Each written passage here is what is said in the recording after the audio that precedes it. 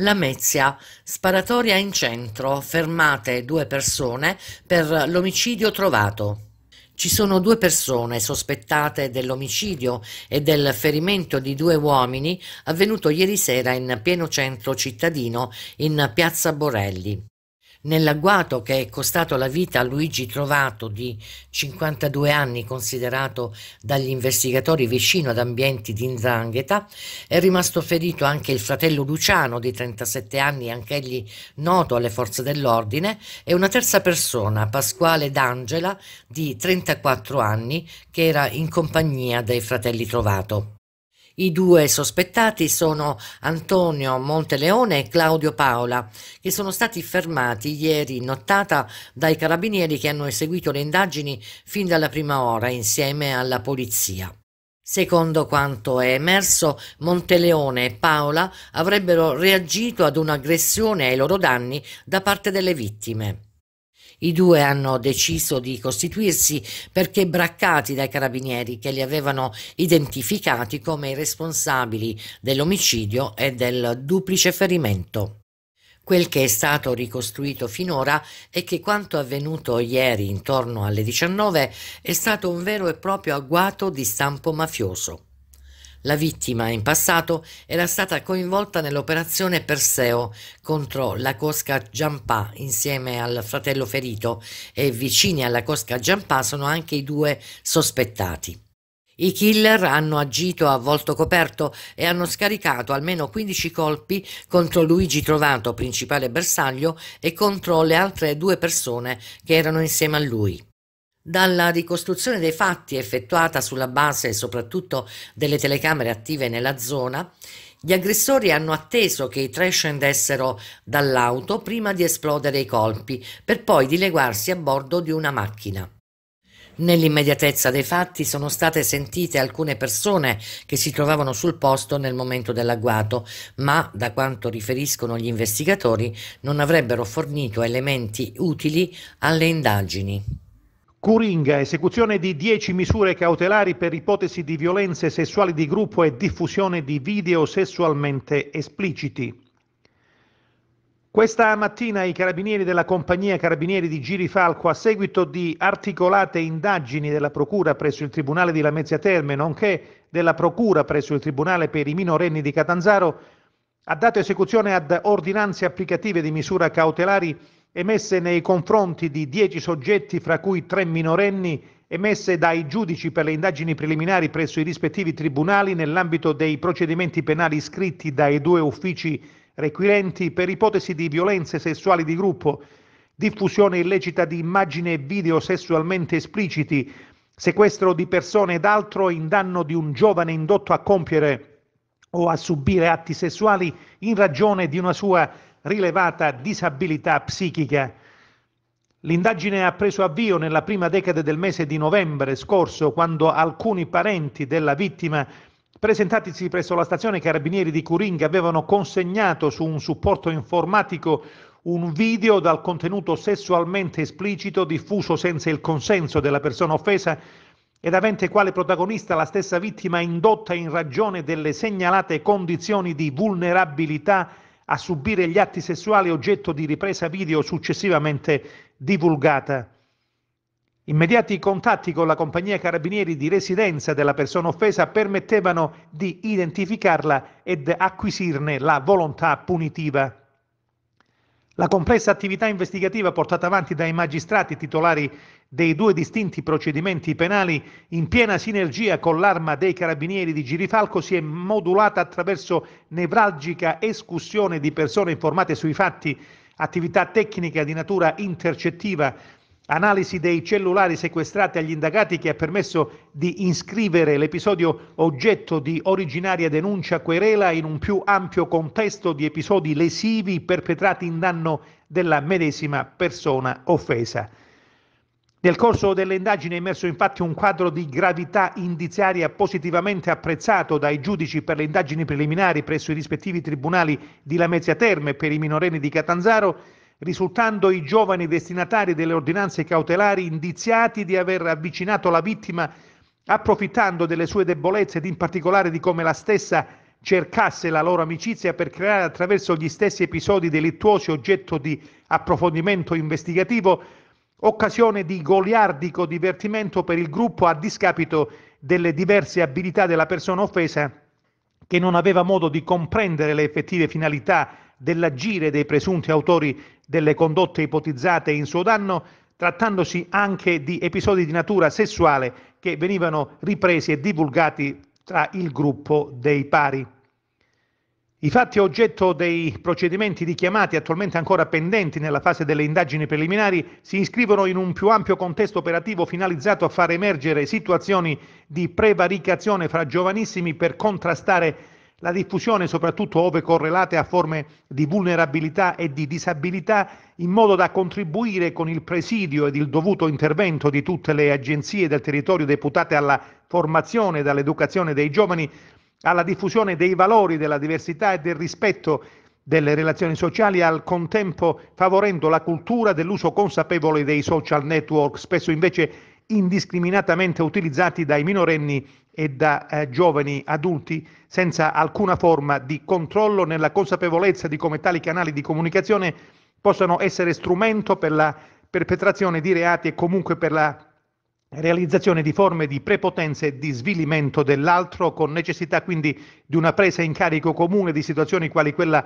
descritta in questo servizio per arginare anche mediante la diffusione della cultura del rispetto della sfera altrui i rischi correlati a tali indebite divulgazioni. Per Teleionio Bruno Cirillo. Davoli uccise l'ex moglie e il compagno sarà sottoposto a nuova perizia. Nuova udienza del processo davanti alla Corte d'Assise d'Appello di Catanzaro contro Giuseppe Gualtieri, 54 anni, condannato in primo grado all'ergastolo per il duplice omicidio dell'ex moglie Francesca Petrolini, 53 anni, e del nuovo compagno della donna Rocco Bava, 43 anni. Il prossimo 23 marzo presterà giuramento il nuovo perito dottore Fernando Roccia, dopo che i giudici hanno accolto l'eccezione mossa dai legali di Gualtieri, gli avvocati Salvatore Staiano e Vincenzo Cicino, che chiedono una nuova perizia psichiatrica. Nella prima consulenza l'imputato era stato dichiarato capace di intendere e di volere, ma sulla base della consulenza tecnica fornita dal perito di parte Massimiliano Cardamone i legali di Gualtieri hanno ottenuto dalla Corte l'annullamento della prima perizia, depositata dai periti Salvadori e Paternini. La difesa punta evidentemente al riconoscimento dell'infermità mentale dell'imputato al momento dell'omicidio. Un duplice omicidio efferato che squarciò il sereno tran tran dei giorni precedenti a quel tragico Natale del 2018, segnato per sempre dalla morte atroce della coppia Bava-Petrolini, erano circa le 18 del 23 dicembre di quell'anno, quando quando Gualtieri imbracciò fucile e pistola e fece irruzione nella tabaccheria della Petrolini, situata nel centro storico di Davoli, sparando a bruciapelo contro la 53enne ex moglie e contro Bava. Dopo la separazione da Gualtieri avvenuta circa un anno prima, la donna da qualche tempo aveva ritrovato l'amore con il 43enne, separato, senza figli, proprietario di un autolavaggio a Simbario nel Vibonese. Una relazione che l'ex marito, che non si era rassegnato alla separazione, non aveva mai accettato. Gualtieri le aveva reso la vita impossibile con minacce e persecuzioni denunciate alle forze dell'ordine. Un'escalation di violenza culminata nell'omicidio. Quel pomeriggio il 54enne sparò contro la donna due colpi, uno la raggiunse alla testa e uno al torace. Per Francesca non ci fu scampo, morì sul colpo. Contro il suo rivale, invece, Gualtieri sparò quattro colpi, sia alla testa che al torace. Ferito gravemente, Bava si trascinò fuori dalla tabaccheria per poi accasciarsi a terra, ormai privo di forze. Qui lo trovarono i sanitari del 118, giunti sul posto per soccorrerlo. Fu inutile ogni tentativo di rianimarlo, l'uomo morì poco dopo. Dopo aver ucciso la coppia, Gualtieri si allontanò dal luogo del delitto facendo perdere le sue tracce, ma la fuga durò meno di 24 ore. I carabinieri della compagnia di Soverato, che sin dall'inizio avevano concentrato su di lui sospetti e indagini, lo trovarono in casa di un amico. Dentro la sua auto, nel corso di una perquisizione, rinvennero il fucile con cui aveva sparato. La pistola invece non fu mai trovata. Gualtieri fu fermato e interrogato davanti al PM, ammise di essere l'assassino dell'ex compagna e di Bava. Ad armare la sua mano, come confessò ai carabinieri e al PM Chiara Bonfadini, che coordinava le indagini, era stata la cieca gelosia verso la donna, che lo aveva lasciato e che aveva deciso di rifarsi una vita lontana da lui, con un altro uomo. In primo grado il GUP Matteo Ferrante condannò Gualtieri all'ergastolo, accogliendo la richiesta del pubblico ministero che al termine della requisitoria aveva chiesto per l'imputato il massimo della pena. Incendiata l'auto dell'assessore a Crosia, indagano i carabinieri. L'auto dell'assessore all'urbanistica del comune di Crosia, Giovanni Greco, è stata distrutta da un rogo. Il fatto è avvenuto la scorsa notte. La notizia è stata diffusa dal sindaco Antonio Russo. Non possiamo che esprimere preoccupazione per quanto accaduto stanotte, scrive Russo, e lanciare un appello forte al prefetto e quindi allo Stato affinché intensifichi i controlli e la presenza delle forze dell'ordine sul territorio comunale. Il sindaco chiede anche che venga portato a finanziamento il progetto di videosorveglianza sorveglianza comunale.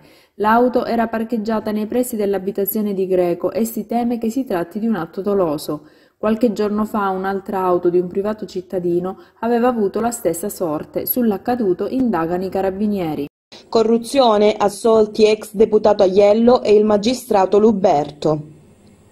Il GUP di Salerno ha assolto l'ex deputato del PD Ferdinando Aiello ed il magistrato Vincenzo Luberto dai reati di corruzione, falso e rivelazione di segreti d'ufficio per non aver commesso il fatto. La procura campana aveva chiesto la condanna degli imputati alla pena di tre anni e sei mesi di reclusione. Secondo l'accusa Luberto avrebbe in qualità di procuratore aggiunto nella procura di Catanzaro omesso di iscrivere Aiello nel registro degli indagati in ragione di un rapporto di amicizia tra i due.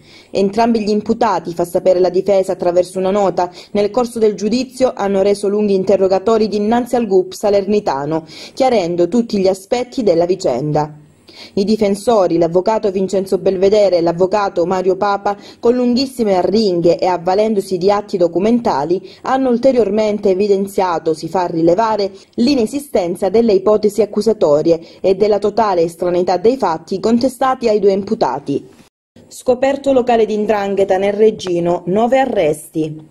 Un nuovo locale di 'ndrangheta attivo e confederato alla cosca dei taverniti di Gerocarne, nel Vibonese, è stato scoperto a Stilo, nella Locride, nell'ambito dell'inchiesta Doppio Sgarro, condotta dai carabinieri e coordinata dalla DDA di Reggio Calabria.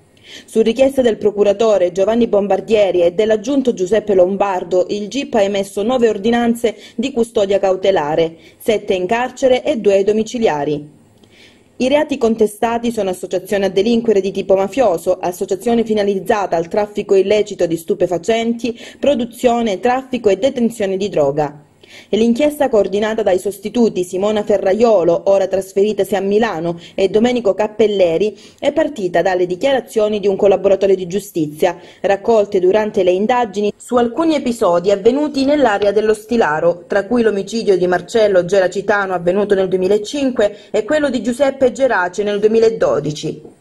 I fatti di sangue non sono contestati, ma grazie a una rivisitazione di precedenti attività di indagine si è arrivati agli arresti di oggi, con cui i PM hanno disarticolato un gruppo criminale composto prevalentemente da soggetti legati da vincoli familiari e collegati alla Cosca Taverniti. Al centro dell'indagine ci sono le famiglie mafiose dello Stilaro, che secondo il GIP Giovanna Sergi sono interessate a garantirsi il controllo del territorio con la solita metodologia delle imposizioni e dei condizionamenti violenti anche all'attività amministrativa pubblica. C'è anche il boss latitante Fernando Spagnolo, di 67 anni, tra i destinatari dell'ordinanza di custodia cautelare in carcere, emessa dal GIP Giovanna Sergi nell'ambito dell'operazione Doppio Sgarro, coordinata dalla DDA di Reggio Calabria. Spagnolo risulta irreperibile dal maggio 2019 a seguito della condanna all'ergastolo emessa dalla Corte d'Assise d'Appello per l'omicidio di Marcello Geracitano, avvenuto a Stilo il 16 gennaio 2005 sentenza che lo scorso settembre è stata confermata dalla Corte di Cassazione. Il GIP ha disposto il carcere anche per il figlio del boss Ilario Spagnolo, il nipote Jason Spagnolo e il genero Giuseppe Furina. Tutti quanti, secondo la DDA, facevano parte della cosca operante a Stilo nella Locride. Sono finiti in carcere anche Cosimo Panetta, Giuseppe Tassone, Cosimo Tassone e Cosimo Leotta. Quest'ultimo è accusato di essere affiliato ai Ruga Gallace Leuzzi, storica cosca operante nell'Alto Ionio Reggino, Basso Catanzarese e zone limitrofe. Secondo la DDA, Leotta avrebbe messo a disposizione degli associati i propri immobili per lo svolgimento dei riti di affiliazione all'andrangheta e rivestito per conto della predetta consorteria criminale il ruolo di riferente territoriale nel comune di Stilo, con la dote di Vangelo. Il GIP ha disposto inoltre gli arresti domiciliari per Francesco Aiello e Diego Tassone. Soverato, Ucraina, i sindaci preparano l'accoglienza. Sul banco delle opzioni l'utilizzo della rete SPRAR o in alternativa il recupero degli immobili abbandonati per accogliere i profughi provenienti dall'Ucraina. Ciò che è certo è che l'ambito per le politiche sociali di Soverato vuole muoversi in modo coordinato, chiedendo alla Regione fondi e la possibilità dell'istituzione di un'unità operativa per realizzare azioni efficaci. I sindaci nell'incontro dell'ambito delle politiche sociali che ha proceduto la Marcia per la Pace si sono trovati concordi nella necessità di dare risposte a una crisi umanitaria che coinvolge emotivamente i territori che già ospitano immigrati delle zone di guerra da anni, ma manifestano la volontà di farlo date alla mano dopo aver valutato la concreta fattibilità. Il primo scoglio da superare è il coinvolgimento dei privati, i soli che fornendo locali idonei potrebbero garantire la possibilità di ospitare un numero importante di profughi, che in caso contrario dovrebbe essere garantita in immobili comunali che però non avrebbero caratteristiche di abitabilità per lunghi periodi. I sindaci dichiarano poi di aver accolto la disponibilità e la proposta delle scuole sparse sul territorio che sarebbero pronte ad avviare inserimenti di bambini ucraini all'interno delle loro strutture e che avanzerebbero anche l'innovativa idea di poter ricreare delle classi con insegnanti provenienti dalla stessa nazione per offrire un percorso simile a quello interrotto prima della guerra. Tra il dire e il fare c'è però di mezzo la burocrazia, in uno scoglio che non scoraggia comunque i primi cittadini. Di fronte a una situazione di emergenza, ha spiegato il sindaco facente funzioni di Soverato Daniele Vacca, non possiamo rimanere indifferenti. Questi sono territori che già in passato hanno ospitato immigrati, profughi, richiedenti asilo. L'ospitalità fa parte della nostra cultura e abbiamo già avuto la disponibilità di molte famiglie a ospitare chi sta fuggendo dall'Ucraina. È però necessario che ci sia un coordinamento generale dei 28 comuni dell'ambito per avere contezza del numero di profughi che arriverà e dei posti letto che si possono mettere a disposizione. L'incontro di oggi, ieri per chi legge, è il primo confronto a cui ne seguiranno altri. Siamo consapevoli che il tema dell'accoglienza non può però essere trattato solo in emergenza, per cui chiederemo un'unità permanente per organizzare azioni coordinate. La Prefettura ci chiede di monitorare le possibilità per realizzare progetti di accoglienza e in quest'ottica ci siamo mossi. Saranno coordinate anche le raccolte dei fondi e beni di prima necessità che tutti i comuni hanno avviato con una risposta importante e generosa da parte dei cittadini. L'idea è di un centro di smistamento comune e di un coordinamento delle associazioni di protezione civile, religiosa e dei privati per far funzionare al meglio una macchina della solidarietà già avviata. Intanto a Soverato i sindaci hanno indossato le loro fasce per marciare lungo le strade con le associazioni che hanno deciso di dire il proprio no alla guerra. Una fiaccolata per la pace silenziosa e suggestiva per commemorare le vittime innocenti di una guerra che si vorrebbe vedere presto finire. Verso una legge sui diritti delle donne, ma la sola enunciazione non basta. Bene l'idea di una proposta di legge regionale per la promozione dei diritti delle donne, meno bene il fatto che si tratti di una mera enunciazione di diritti. Lo ha dichiarato Caterina Vaiti, segretaria confederale CGL Calabria, membro del coordinamento Lottiamo Insieme Unite sorto tre anni fa, che ieri ha prestato le diverse iniziative promosse su scala regionale, messe in campo a sostegno delle donne nell'ambito del calendario della primavera dei diritti delle donne, per una sensibilizzazione generale sul tema della declinazione dei diritti al femminile, in ogni settore, dal lavoro al welfare, dalla comunicazione di genere alla toponomastica femminile. Non è stato stanziato neppure un euro, ha sottolineato, rispetto alle azioni che vogliono realizzare, rimandando a legge leggi al riguardo che già esistono, a esclusione di quella sulla parità salariale. Una proposta di legge che la CGL ritiene deficitaria, seppur apprezzabile nelle intenzioni. Da qui la richiesta di un confronto con la Regione Calabria sulle tematiche delle parità di genere, perché le enunciazioni di principi possono essere riempite di contenuto. Questa legge che il Consiglio regionale si approva, ha spiegato Mimma Iannello, dirigente CGL e presidente di Feder Consumatori Calabria, parla di un percorso solitario fatto dalla giunta regionale. Sicuramente apprezziamo le buone intenzioni, ma non apprezziamo il fatto che non sia avvertita la necessità di interagire con il mondo della rappresentanza sindacale. Iannello ha rimarcato che se l'obiettivo della legge è quello di creare maggiore occupazione, appare assurdo che non si sia avvertito il bisogno di confrontare questo impianto di legge con le prerogative che sicuramente avrebbero rappresentato le donne e gli uomini del mondo del sindacato unitario e della CGL, in particolare, alla luce del fatto che il coordinamento ha creato una piattaforma che parla proprio di lavoro e di welfare, di diritti negati e di differenze retributive. Lo sciopero proclamato per la giornata dell'8 marzo, ha spiegato Antonella Bertuzzi, segretaria dell'area vasta per la FISAC CGL, ha un valore simbolico per consentire a tutte le donne di partecipare, ma soprattutto per dire che nessun settore lavorativo è escluso dai percorsi di sfruttamento. Esistono per esempio i contratti pirata che vedono coinvolte soprattutto donne perché nei settori degli appalti assicurativi il 90% dei dipendenti sono donne che durante la pandemia non hanno potuto usufruire delle agevolazioni e dei congedi parentali perché lavorando in aziende private non hanno potuto fare i percorsi di altre lavoratrici.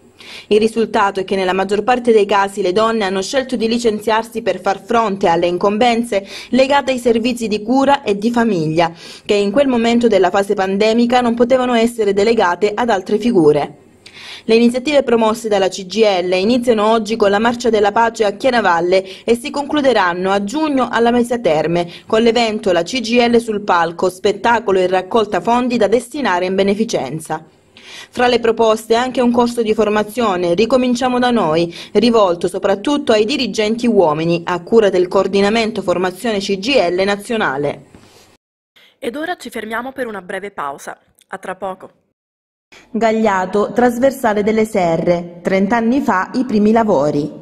Torna a farsi sentire la voce del Comitato Trasversale delle Serre 50 anni di sviluppo negato. Sodalizio che continua a guardare con attenzione ad ogni passo che in qualsiasi modo possa accelerare il reale completamento dell'intera arteria stradale di collegamento tra le aree dello Ionio Catanzarese e il Tirreno Vibonese. La presa di posizione del comitato presieduto da Fioravante Schiavello è netta per quanto riguarda proclami ottimistici, le dichiarazioni di successo e i convegni che sempre secondo il Comitato risalgono agli anni Sessanta. In questo 2022, dice il Presidente del Comitato, corre il trentesimo anno dall'inizio di qualche lavoro e siamo lontanissimi dal completamento. Si può dire infatti che il solo tratto percorribile sia quello tra Gagliato e Spadola, con Bretella Serra San Bruno, che è stato aperto, lo ricordiamo, solo per le ripetute e vivaci insistenze del Comitato. Assicurazioni anche personali, il Comitato non li vede, così come manca qualsiasi attività sul territorio nemmeno di preliminari progettuali. Il Comitato comprende, prosegue Schiavello, l'esigenza di progetti, intese, firme, conferenze dei servizi e quant'altro richieda l'italica impacciata burocrazia, ma deve constatare che tutte queste teorie stanno procedendo con tale lentezza da far temere l'inizio dei lavori veri per molto tardi e certo non è nell'anno in corso e forse nemmeno nel 2023. Questa la posizione del Comitato che, rinnovando la protesta, insiste sul fatto che qualunque operazione venga condotta con la massima rapidità e senza ulteriori attese. Fioravante Schiavello ha parlato pure di una possibile mobilitare delle popolazioni del territorio per azioni di protesta e di stimolo dell'effettivo inizio degli appalti. A fare da detonatore il commento della vicepresidente dell'ottava commissione lavori pubblici, la senatrice di Forza Italia Silvia Vono, che si era soffermata sull'intesa raggiunta tra il presidente della regione Roberto Occhiuto ed il commissario straordinario dell'ANAS Francesco Caporaso per la sottoscrizione del protocollo protocollo d'intesa necessario per l'approvazione dei progetti esecutivi relativi ai primi due lotti della trasversale delle Serre, che nello specifico riguardano l'area vibonese. Montepaone decisa la riformulazione del piano di riequilibrio. Nell'ultima seduta del civico consesso di Montepaone sono stati trattati e approvati importanti punti all'ordine del giorno. In vista dell'ormai prossima approvazione del bilancio di previsione, il Consiglio Comunale, con il solo voto a favore del gruppo di maggioranza, ha approvato le tariffe per IMU e addizionale IRPEF comunale. Come illustrato dall'assessore ai tributi Grande, anche quest'anno le tariffe sono state confermate senza subire alcun aumento. Una scelta non scontata data la difficile situazione finanziaria dell'ente. Si è poi passati all'esame del piano delle alienazioni e valorizzazioni immobiliari. L'attenzione si è concentrata su due immobili attualmente in disuso, in particolare l'ex mattatoio e l'ex mercato comunale. Il sindaco Mario Migliarese ha confermato che per entrambi i beni si continua a richiedere finanziamenti a Regione e altri enti in grado di far riprendere funzionalità alle strutture. Poi nelle ore successive al Consiglio è arrivata la comunicazione ufficiale che una delle richieste è andata a segno. Infatti il comune di Montepaone è risultato destinatario di un finanziamento da parte del GAL Serre Calabresi nell'ambito del piano di azione locale SPES Strategie per Restare. Il finanziamento sarà destinato al recupero dei locali dell'ex mercato comunale. Il vice sindaco Tuccio ha poi reso edotto il Consiglio dell'opportunità offerta dall'ultima legge di bilancio e dal decreto mille proroghe di riformulare il piano di riequilibrio, già deliberato dal Comune ormai tre anni or sono. Considerato il mutato scenario degli ultimi anni, il vice sindaco Tuccio ha chiesto al Consiglio di procedere alla riformulazione del piano, che dovrà avvenire entro i prossimi giorni. La proposta è stata approvata con i voti del gruppo di maggioranza, dopo un costruttivo dibattito. Di particolare rilievo è stata anche l'informativa del sindaco Migliarese sulla situazione della farmacia di Montepaone Centro. L'attuale titolare a breve si trasferirà in altra regione ed era diventata concreta la prospettiva di una interruzione nell'erogazione del servizio farmaceutico.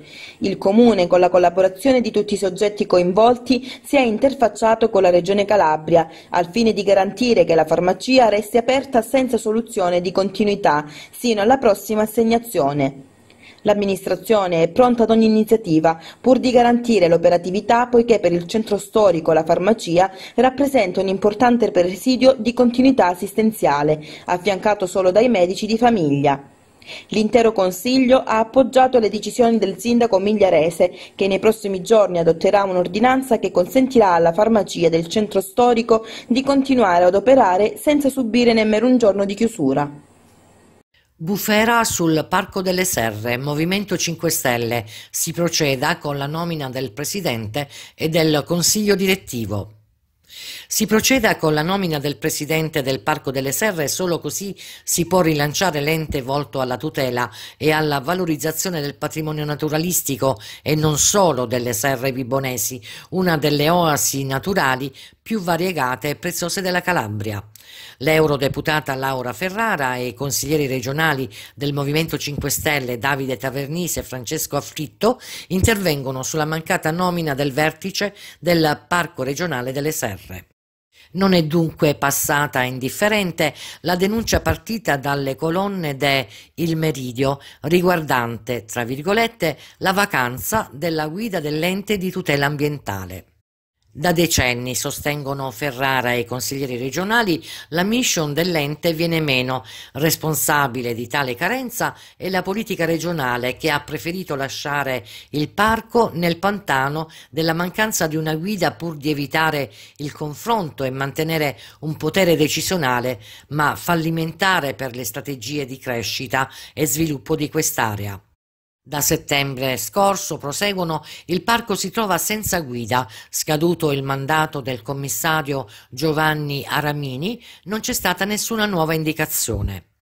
Per come si legge dalle indiscrezioni sulla stampa locale, la maggioranza regionale di centro-destra starebbe pensando all'ennesima nomina di un commissario, anziché dotare l'ente di un presidente e a cascata degli altri organi direttivi, così da far cessare la paralisi politico-amministrativa che da circa 15 anni soffoca il parco. In questo momento storico in cui vi sono importantissime opportunità da cogliere in termini di finanziamenti nazionali ed europei dedicati al patrimonio naturalistico e alla sua promozione per un turismo sostenibile e di prossimità, non si può pensare di lasciare il parco senza un'amministrazione che possa svolgere il suo ruolo nel pieno delle sue funzioni. È dal 2010 che l'ente è retto esclusivamente da commissari nominati dalla Giunta regionale. Il Movimento 5 Stelle quindi chiede al Presidente del Consiglio regionale di nominare con apposito decreto il Presidente del Parco regionale delle Serre e al Presidente Occhiuto di procedere, così come da sua prerogativa, alla nomina del Consiglio direttivo. Solo così, concludono Ferrara, Tavernise e Afflitto, si permetterà l'avvio di un'attività ordinaria nella gestione del parco, quindi la possibilità di programmare per il futuro, spendere le tantissime risorse europee, altrimenti a rischio, e rilanciare il parco così come merita. Per Serra Insieme e Serra al Centro promuovono un'iniziativa comune in difesa dell'ospedale. I movimenti per Serra Insieme e Serra al Centro promuoveranno un'iniziativa pubblica sabato 12 marzo, aperta al contributo di quanti hanno a cuore le sorti dell'ospedale San Bruno, verso il quale non vi devono essere primogeniture nelle azioni a sua difesa. Riteniamo, spiegano gli organizzatori, che il diritto alla salute non debba essere strumentalizzato a fini politici. Il movimento Serra al Centro, con molta responsabilità e rispetto delle istituzioni, ha chiesto al sindaco di convocare un consiglio comunale aperto a tutte le forze positive del territorio, sindaci, forze politiche, associazioni, movimenti e di mettersi alla testa di una protesta chiara e forte per portare avanti le istanze di una comunità troppo volte messa da parte e per difendere un'offerta sanitaria degna di questo nome per Serra Insieme al primo cittadino in quanto sindaco e presidente dell'Assemblea dei Sindaci dell'ambito territoriale, ha chiesto di evitare un continuo polemizzare e di rendere note le prospettive che lui pensa possibili per l'ospedale San Bruno e spiegare le conseguenze rispetto alla scelta da lui condivisa di individuare parte dei locali dell'ospedale come sede della Casa della Comunità e come nuova sede degli uffici del distretto dell'Asp di Serra, auspicando altresì spiegazioni sul perché di un repentino cambio di opinione. Rispetto alle rassicurazioni del sindaco, che entrambi i movimenti hanno valutato poco confortanti, ribadiranno nel corso dell'iniziativa che ubicare la casa della comunità all'interno della struttura ospedaliera sia un errore, nonostante si ritenga la stessa opportunità da cogliere per il territorio. La manifestazione servirà anche a chiedere che nell'imminente piano aziendale, in via di definizione e prossima approvazione, vengano previsti segnali tangibili di riattivazione in termini di servizi e prestazioni sanitarie da erogare per la tipologia di ospedale che è il San Bruno. L'atto aziendale, chiariscono, non deve essere un mero specchio per le allodole, contenente eventuali promesse generate magari dal malessere diffuso che serpeggia tra i cittadini del comprensorio delle serre. E l'atto aziendale deve inoltre essere redatto dopo una reale e concreta valutazione del piano di fabbisogno triennale, prevedendo per il San Bruno personale, attrezzature e strumentazioni necessarie per poter erogare un adeguato livello essenziale dei servizi sanitari, garantendo la sicurezza e l'efficienza per l'utenza e per chi è impegnato a garantirli. Non resteremo indifferenti, concludono i promotori, rispetto alla spoliazione del San Bruno. Ci batteremo, se sarà necessario, chiamando tutti i cittadini alla mobilitazione. Siamo certi che i sindaci del comprensorio, a cui riconosciamo grande sensibilità per una tematica così importante, si attiveranno per la loro parte con azioni ed iniziative che vadano nella stessa direzione. Intensificati i controlli della polizia nei luoghi della movida a Catanzaro. Sanzioni.